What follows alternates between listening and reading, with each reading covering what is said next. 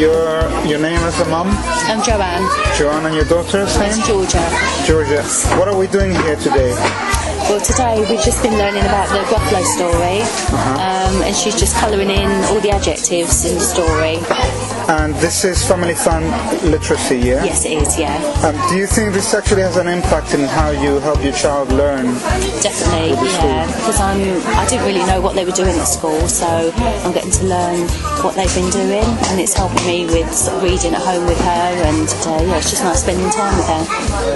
And is is every week different, different things? Is Yeah. fun and different? Yeah, definitely. Yeah, we get a chance to, um, before the children come, we get a chance to do a little bit of literacy and sort of learning about what they're doing.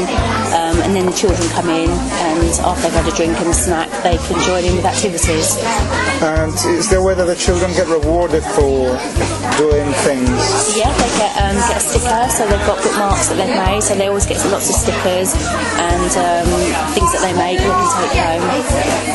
Okay, and if you were to if you were to kind of meet a parent who was nervous about the course, what would you tell them to try and make them relax about the course? Oh, just it's so much fun. Just definitely come along because you get quality time with your children as well as sort of learning what they, they're doing at school, and it just helps you a lot at home with sort of the future homework that she'll be getting. So it's definitely a lot of fun. Definitely come along.